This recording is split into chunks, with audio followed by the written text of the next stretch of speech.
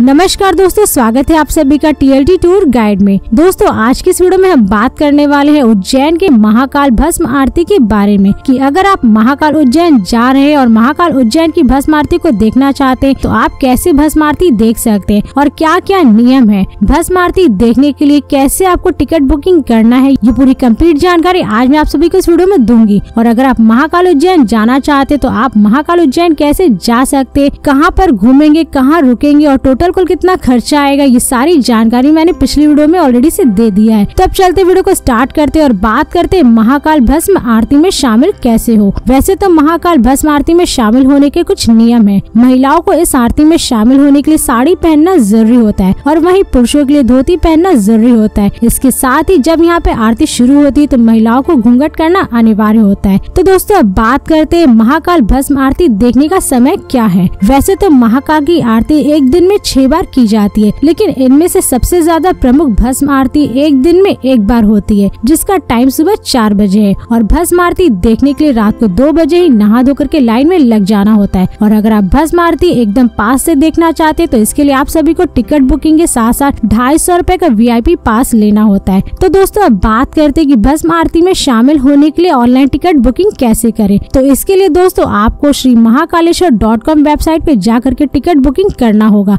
जिसका लिंक मैंने डिस्क्रिप्शन में दे दिया है। और अगर आप चाहे तो गूगल से भी जाकर के ऑनलाइन बुकिंग करा सकते हैं। और ये बुकिंग आपको एक महीने पहले ही कराना होता है। ऑनलाइन टिकट बुकिंग की टाइमिंग सुबह आठ बजे से लेकर के रात के नौ बजे तक होती है। और दोस्तों, मैं आप सभी को एक और जानकारी दे दूँ कि अगर आप ऑनलाइन भस्म आरती की टिकट बुकिंग करना चाहते हैं तो आपको सुबह आठ बजे से लेकर के दोपहर के बारह बजे के अंदर ही टिकट बुकिंग कर लेना है। क्योंकि टिकट काउंटर ओपन होते ही एक से दो घंटे के अंदर टिकट बुकिंग फुल हो जाती है। तो आप इस बात का ध्यान ज़रूर रखें। और ऑनलाइन और ऑफलाइन बुकिंग के लिए आप अपने साथ अपना आईडी प्रूफ ज़रूर रखें, जैसे कि Aadhaar card, PAN card driving licence passport इत्यादि। और दोस्तों, अगर आपके साथ 12 साल से कम उम्र के बच्चे हैं तो 12 साल से कम उम्र के बच्चे के लिए किसी भी तरह की ऑनलाइन या ऑफलाइन टिकट बुकिंग की ज़रूरत नहीं पड़ती है। और दोस्तों, अगर आप भस्म आरती की टिकट बुकिंग नहीं कर पा रहे तो आप मंदिर पहुँच करके ऑफलाइन भी टिकट बुक कर सकते हैं, जो की सुबह सात बजे फॉर्म मिलता है, जिससे आपको भर करके दस बजे तक फॉर्म जमा करना पड़ता है। और जमा करने के बाद आप सभी को